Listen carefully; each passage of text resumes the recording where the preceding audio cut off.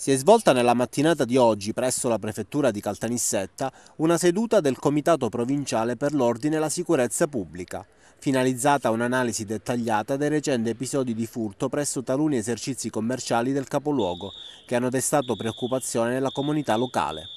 Alla riunione, presieduta dal prefetto, hanno partecipato oltre ai vertici delle forze dell'ordine anche il sindaco di Caltanissetta e il comandante della polizia municipale.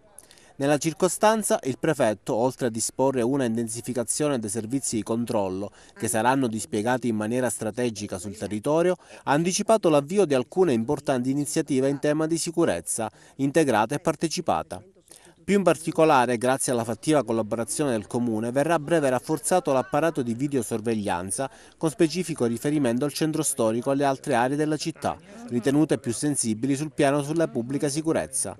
Inoltre è stata positivamente accolta la proposta del prefetto di valutare l'avvio di interlocuzioni per la stipula con il Comune di un patto di vicinato, quale importante strumento non solo di cooperazione interistituzionale, ma anche di coinvolgimento attivo dei cittadini nel sistema sicurezza.